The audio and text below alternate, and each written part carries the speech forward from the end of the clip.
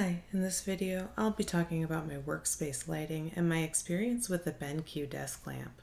But first I wanted to let you know that I've created a web page list of all of my favorite watercolor painting supplies.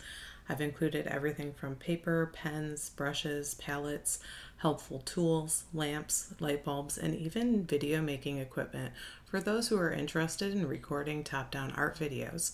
I'll put a link in the description section if you'd like to check it out. Now let's take a look at my lighting situation.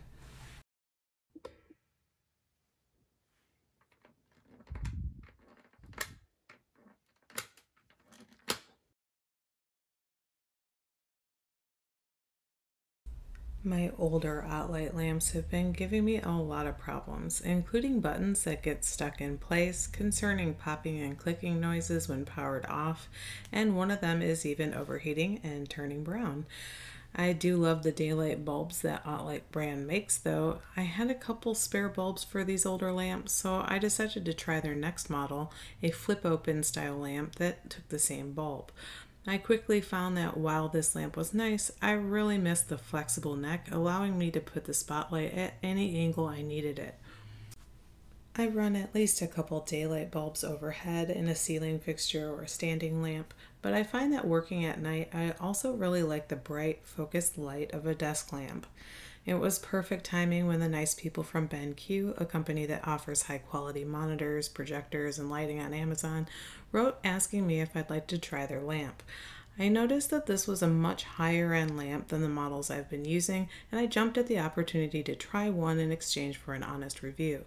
I've been using this lamp for over a month now so that I could really get a feel for how helpful it is before finishing this video. It's a pretty large lamp and coming in such a big box in multiple parts, I worried it might be hard to set up. It ended up being super simple though, aside from the muscle strength needed to pick up the really solid metal base. This lamp feels very high quality. It definitely doesn't look like any corners were cut in its construction. It has a super bright LED bar measuring over 15 inches wide. It's slightly curved to cast a wider area of light, reaching my whole desk.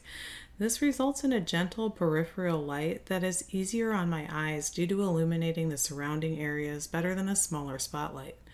Being so large, I was worried that it would get in my way on my desk, but the hinged arms and the ball joint under the light allows you to move it around any way that is convenient for your space. I love the simple operation of this lamp despite having so many options. You just tap the touch sensitive metal loop at the top to turn this lamp on and off. If you hold the loop for a couple seconds, it goes into a mode where the lighting changes to try to match ambient lighting, which seems ideal for those using it by their computer monitors or in bed for reading a book at night. To exit that mode, I just turn the knob next to the loop, which controls how dim to bright the light is. Then I press the knob to change the control to warm or cool hues. This was the majorly helpful part of the lamp for me, as I was able to change the bulb to project the exact same brightness and daylight cool white color as my OttLite lamps.